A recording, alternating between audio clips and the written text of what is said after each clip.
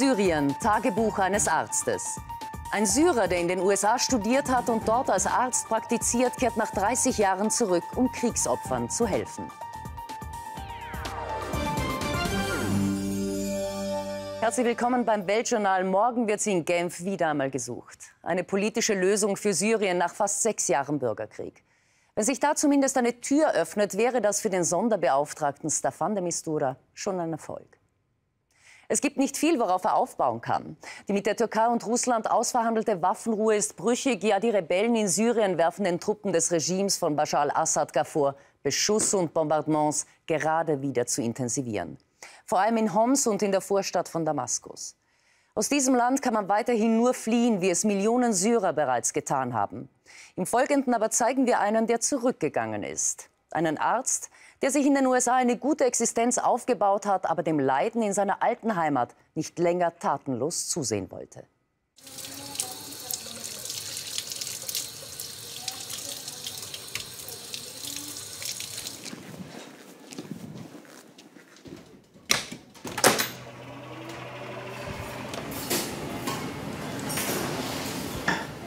Guten Morgen, Dr. Bismar. Guten Morgen, wie geht's dir heute, Margie? Gut, danke. Wie geht es Ihnen? Wann beginnt Ihre Reise? Am 13. Schon nervös? Ein bisschen.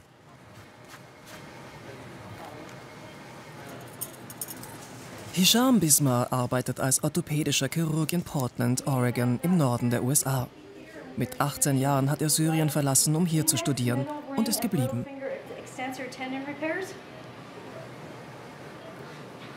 Ich bin 30 Jahre lang nicht in Syrien gewesen. Ich hatte Glück, dass ich die Möglichkeit hatte, hierher zu kommen und im medizinischen Bereich tätig zu sein. Ich glaube, es war eine Videoaufnahme von einem Vater, der seinen Sohn getragen hat. Der Arm des Kindes war abgerissen. Das war es, was mich schlussendlich dazu gebracht hat, die syrisch-amerikanische medizinische Gesellschaft zu kontaktieren. Die haben mich an das Krankenhaus in der Türkei weitervermittelt. Was sagt Ihre Frau dazu? Sie hat gesagt, Ist ein Nervenbündel. geh nicht über die Grenze. Die syrisch-amerikanische medizinische Gesellschaft ist eine Berufsgemeinschaft syrischer Ärzte in den USA. Die Ärzte haben ein Hilfswerk für ihr bürgerkriegsgeschütteltes Land gegründet. Sie organisieren Gastreisen von Ärzten und versorgen Krankenhäuser in Syrien mit medizinischer Ausrüstung und Medikamenten. Ich glaube nicht, dass das, was ich tue, etwas Besonderes ist, aber ich glaube, dass jeder kleine Beitrag hilft. Wenn ich in dieser Situation wäre, hätte ich gerne jemanden, der mir helfen könnte.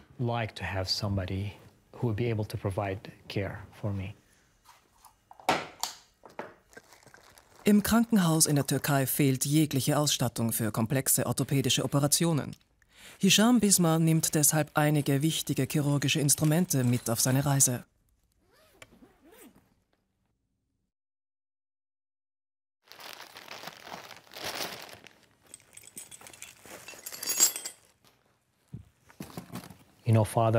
Vom Theologen Martin Niemöller stammt ein berühmtes Zitat aus der Nazizeit in Deutschland. Als die Nazis die Kommunisten holten, habe ich geschwiegen. Ich war ja kein Kommunist. Als sie die Gewerkschafter einsperrten, habe ich geschwiegen. Ich war ja kein Gewerkschafter. Als sie die Juden holten, habe ich geschwiegen. Ich war ja kein Jude.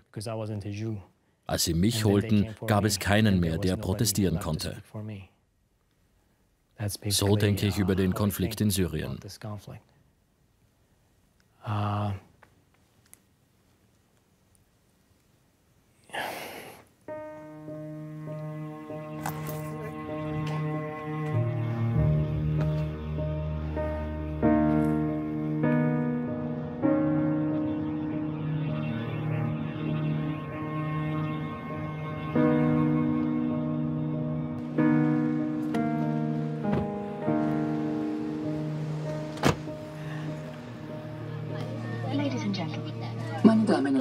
Begrüßen Sie an Bord der Turkish Airlines Boeing 737. Wir wünschen Ihnen einen angenehmen Flug. Vielen Dank.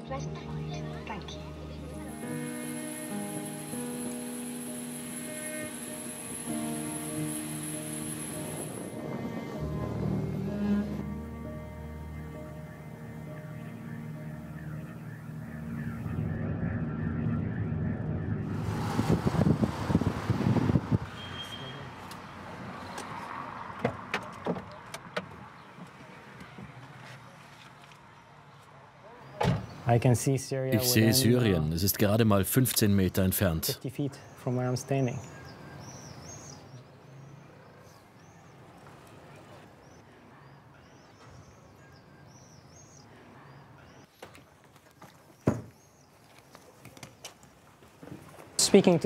Ich habe heute mit dem Direktor des Krankenhauses gesprochen. Normalerweise haben sie morgen geschlossen, aber da einige Ärzte von auswärts gekommen sind, werden sie das Krankenhaus öffnen. Sie wollen, dass wir schon morgen in der Früh mit der Behandlung der Patienten beginnen.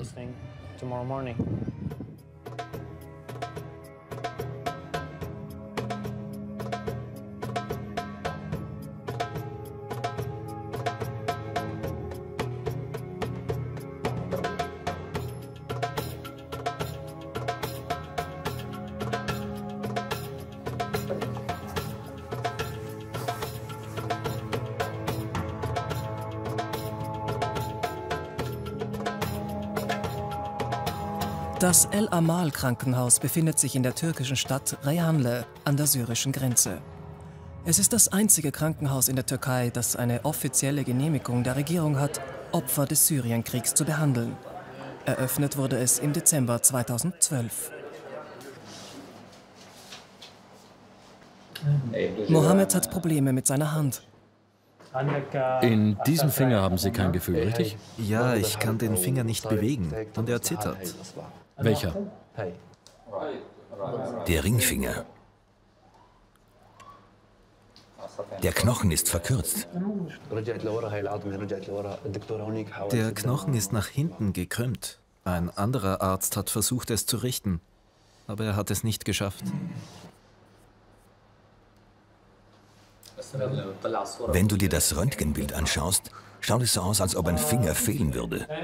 Ja. Sie haben meine Hand in zwei verschiedenen Positionen geröntgt. Ich glaube, wir brauchen neue Röntgenbilder. Sie müssen Ihre Hand so hinlegen.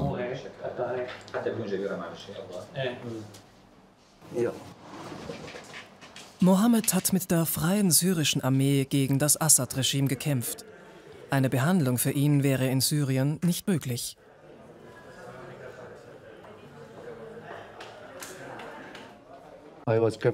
Ich habe meinen Kollegen geschützt. Die Kugel hat mich hier getroffen. Ich habe vier Tage gebraucht, um in die Türkei zu kommen. Wenn ich in ein syrisches Krankenhaus gehen würde, würden sie mich töten. Es ist passiert, als ich mit ein paar Freunden unterwegs war.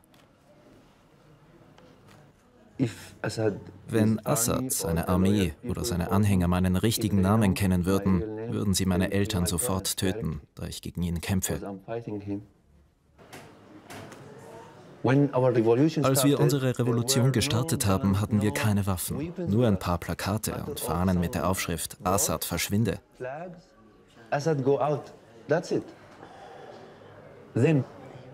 Dann waren überall Raketen, Bomben und Panzer everywhere.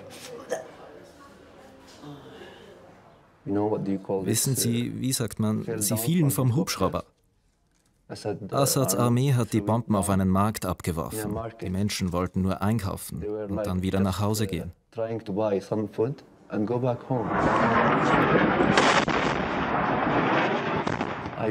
Ich habe sie in Teile zerfetzt gesehen. Brot mit Blut, Gemüse mit Blut und überall waren Körperteile.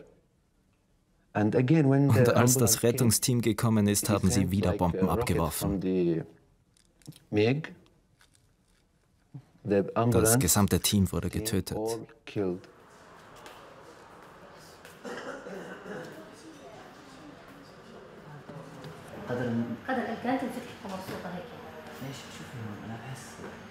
Wir haben uns nie als Kämpfer gesehen. Wir sind einfache Bürger. Wir sind keine Terroristen. Wir sind keine Terroristen. Jeder muss das verstehen. Wir verteidigen nur uns selbst. Solche Doppelanschläge sind besonders verlustreich. Ein Kampfjet wirft eine Bombe ab und wenn die Rettungskräfte kommen, attackiert er auch sie. Wenn die Sehne hier verkürzt ist, müssen wir diese Sehne an diesen oder diesen Finger übertragen. Ich werde mir den Knochen anschauen und wenn es Probleme gibt, werde ich entweder eine Platte oder einen Draht einsetzen. Wann wird die Operation sein? Entweder am Freitag oder am Samstag.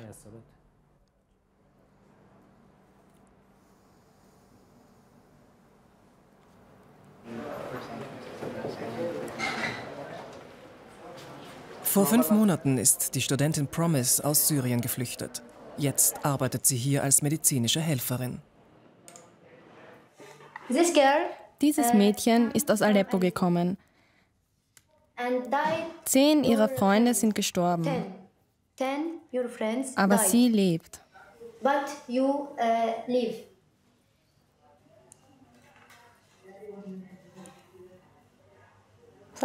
Ich bin seit fünf Monaten hier. 2011 habe ich gerade für meine Bachelorprüfung gelernt. Die Demonstrationen haben begonnen und wir haben uns angeschlossen. Wir haben über ein Netzwerk kommuniziert und ich habe Neuigkeiten über dieses Netzwerk verbreitet.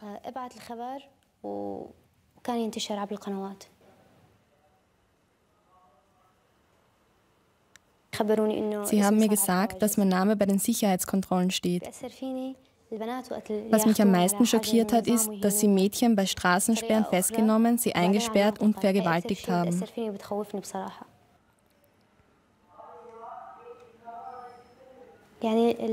Durch eine Kugel getötet zu werden, ist besser, als vom Regime eingesperrt zu werden.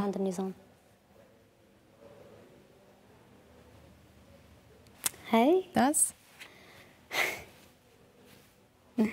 das ist das Symbol der Revolution. Wir werden weitermachen, egal was kommt. Es bedeutet Freiheit.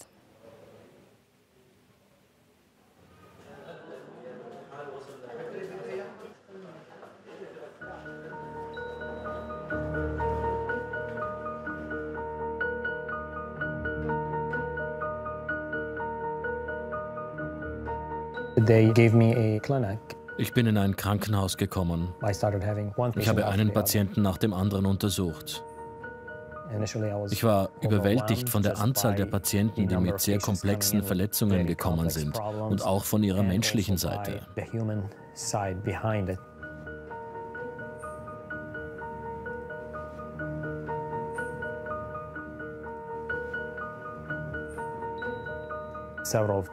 Viele Patienten hatten Geschichten zu ihren Verletzungen, die auch zu dem emotionalen Stress beigetragen haben. Man möchte seine medizinische Entscheidung nicht auf Emotionen begründen.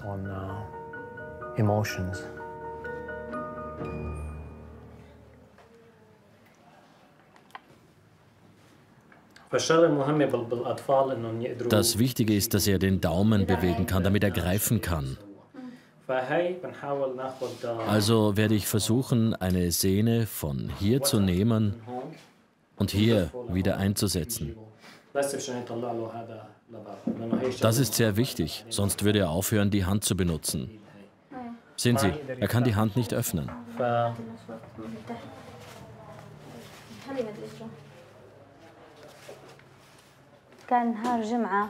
Es war an einem Freitag. Ich war zu Hause mit seinen Brüdern beschäftigt. Er hat andere Kinder auf der Straße gehört und ist nach draußen gelaufen, um mit ihnen zu spielen. Ich bin mir nicht sicher, was es war, aber da war eine riesige Explosion.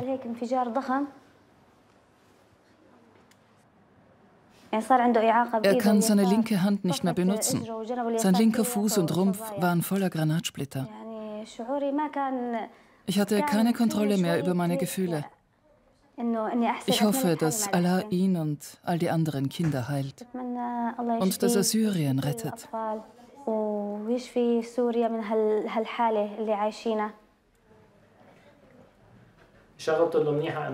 Das Gute ist, dass er sehr jung ist. So hat er bessere Chancen auf Heilung. Am Freitag wird es keine Operation geben, also werde ich ihn am Samstag oder am Sonntag operieren.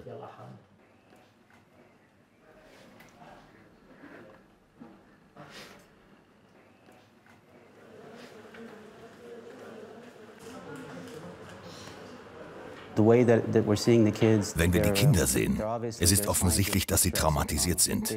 Sie haben ihr Lachen verloren. Es ist sehr schwer, dass sie sich dir öffnen und dir vertrauen.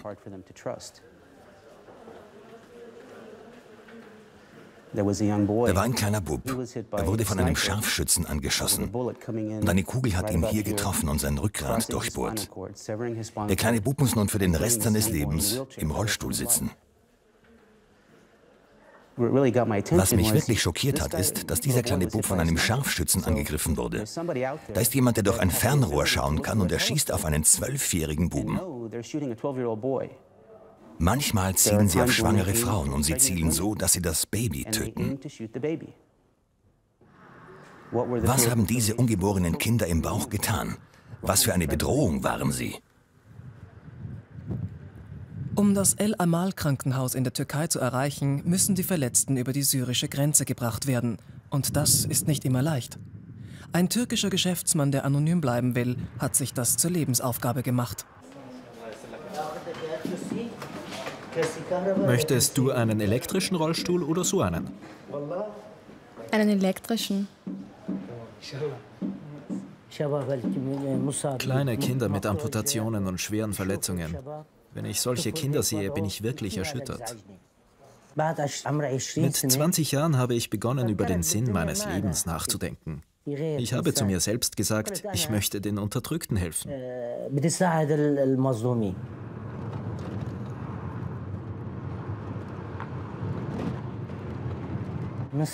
Ich stehe um 6 Uhr in der Früh auf und fahre zur syrischen Grenze.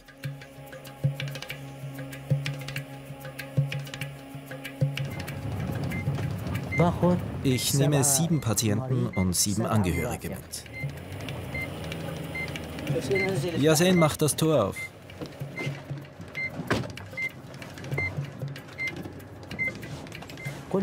Ich bin wie eine Brücke von Syrien in die Türkei. Eine Brücke mit einem Krankenwagen.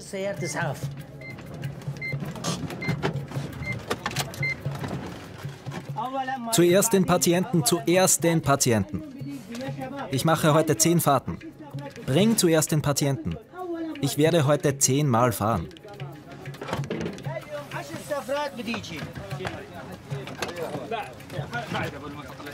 Ich fahre heute zehnmal. Geh zur Seite, nur den Patienten. Ich werde dich erst später mitnehmen. Geh auf die Seite. Zuerst den Patienten.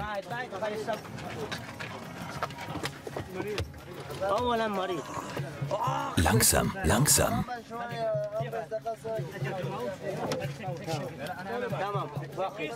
Du, geh wieder hinaus, geh hinaus. Er ist meine Begleitung.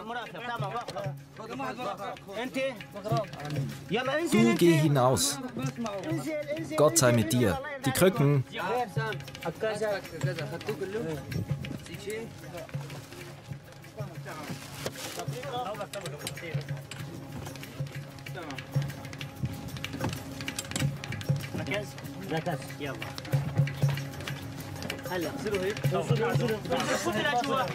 Ihr geht zurück und ihr da steigt ein.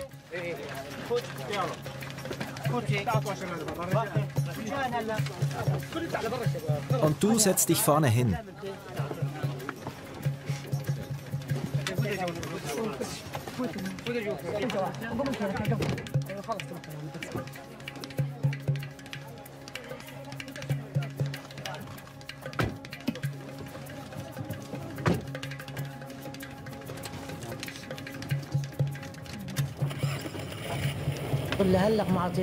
Ich habe nie jemanden bestochen.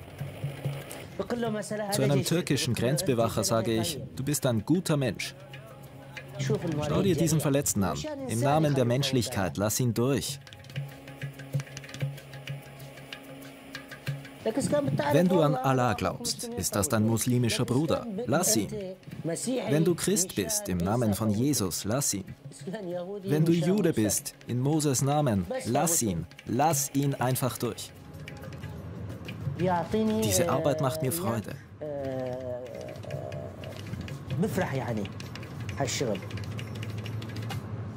Ich habe nichts gefunden, das mir mehr Freude bereitet. Viele Opfer in Syrien werden, wenn überhaupt, nur notdürftig behandelt. Die mangelhafte Erstversorgung führt oft zu bleibenden Schäden.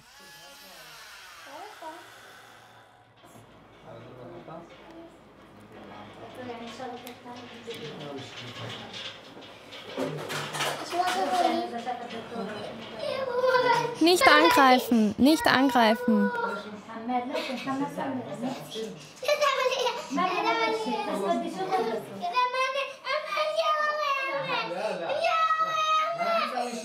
Wir werden gar nichts machen.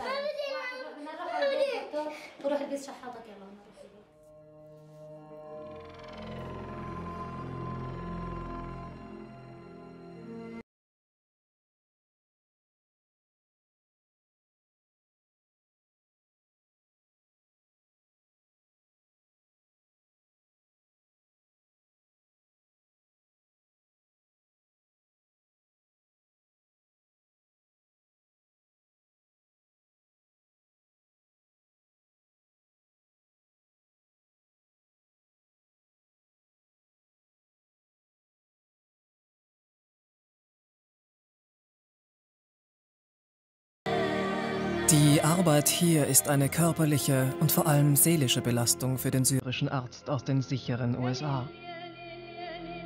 Hisham Bismar wird hier jeden Tag mit dem Leid seiner früheren Landsleute konfrontiert. Seine Hilfe ist ein Tropfen auf dem heißen Stein.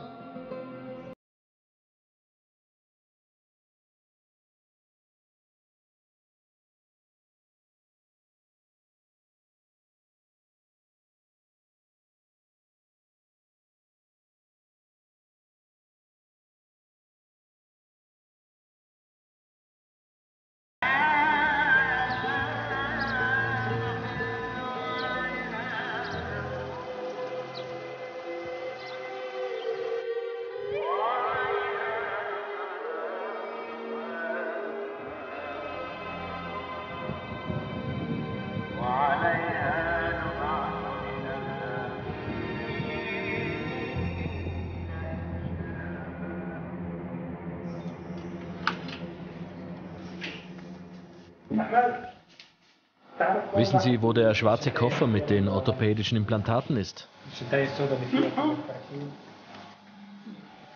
Neben dem seelischen Stress birgt die Arbeit als Arzt an der syrischen Grenze auch ein enormes Sicherheitsrisiko. Seit Ausbruch des Bürgerkriegs werden Ärzte und Pflegepersonal gezielt angegriffen. Hunderte sind bei ihren Einsätzen in den letzten fünf Jahren umgekommen.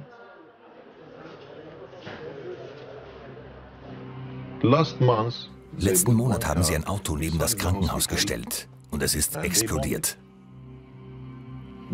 Sie haben uns gesagt, dass sie unser Krankenhaus zerstören werden, während wir die Rebellen behandeln.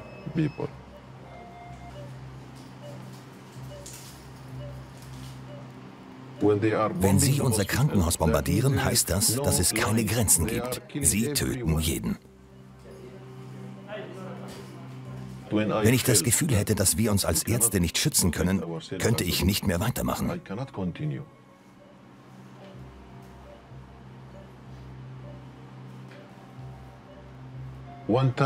Einmal ist eine Bombe auf der Straße eingeschlagen und da war ein Mann. Sie haben ihn zu mir gebracht. Seine Milz war draußen. Ich habe den Patienten ohne Narkose operiert. Ohne Narkose, ohne irgendetwas.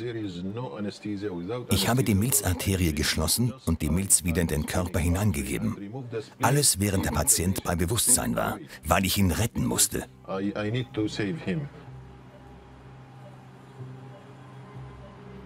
Wir haben viele amputierte Beine und Arme gesehen, Verletzungen am Bauch und am Brustkorb.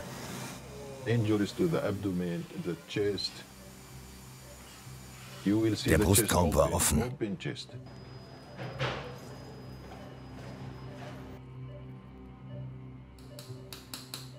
Diese Bilder gehen dir nicht mehr aus dem Kopf.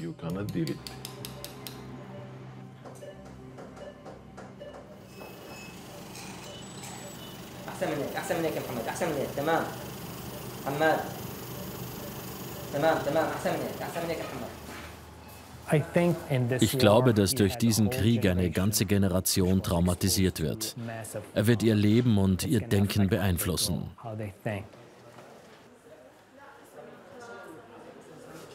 Angst, Hunger und Bomben. Das ist seit über fünf Jahren der Alltag für die meisten Kinder in Syrien. Bereits in den ersten beiden Kriegsjahren wurden laut UNICEF mehr als 10.000 Kinder getötet.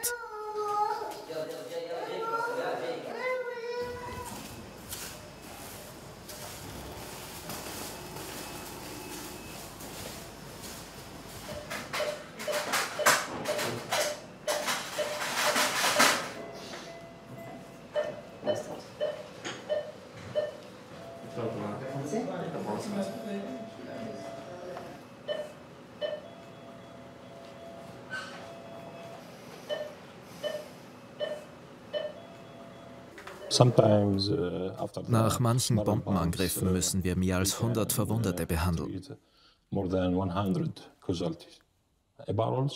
Uh, Eine Bombe ist mit Sprengstoff, Granatsplittern und Metallstücken gefüllt, um möglichst viele Leute zu verletzen. Uh, Die meisten Opfer sind Kinder.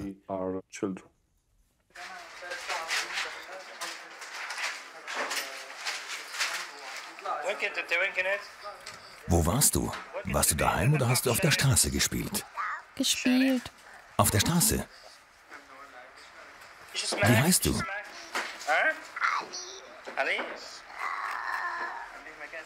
Alles wird wieder gut, Ali.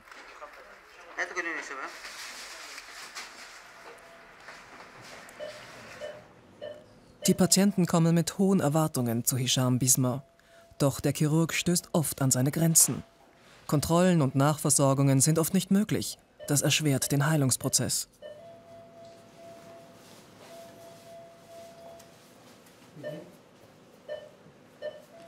Wir konnten den Nerv, der für diese Haltung der Hand verantwortlich ist, nicht reparieren. Also gibt es keine Hoffnung, dass die Hand wieder gut wird? Wir haben einen Sehnentransfer gemacht. Wir haben fünf Sehnen versetzt.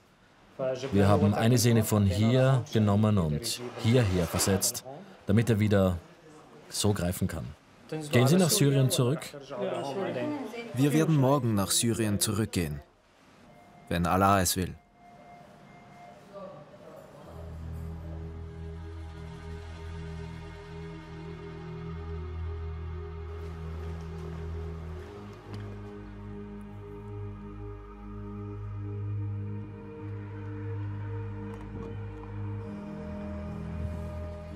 Die Kinder zu sehen hat mich am meisten bedrückt.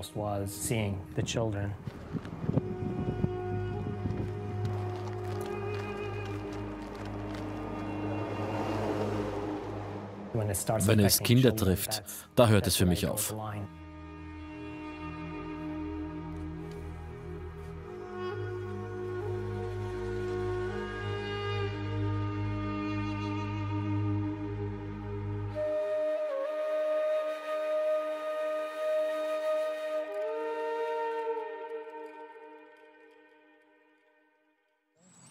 Zehn Monate später. Hisham Bismar ist wieder in die USA nach Portland, Oregon zurückgekehrt. Es sind vor allem die verletzten Kinder, die ihm nicht aus dem Kopf gehen. Er hat selbst zwei Kinder. Meine Kinder verstehen noch nicht richtig, was ich tue. Sie fragen mich, warum in Syrien Krieg ist. Ich sage ihnen, dass manche Leute anderen Leuten Schaden zufügen wollen und dass ich versuche, den Verletzten zu helfen. Gut gemacht. Sie brauchen Wasser. Ich habe das Glück, dass es mir möglich ist zu helfen, egal ob wenig oder viel. Das spielt keine Rolle. Was wichtig für mich ist, dass ich irgendetwas mache. Soll ich es abschneiden? Jedes Mal, wenn ich meine Kinder sehe, habe ich das Gefühl, dass ich zurückgehen muss. Nur einen Monat später kehrt Hisham Bismar tatsächlich wieder zurück ins Spital an der syrischen Grenze.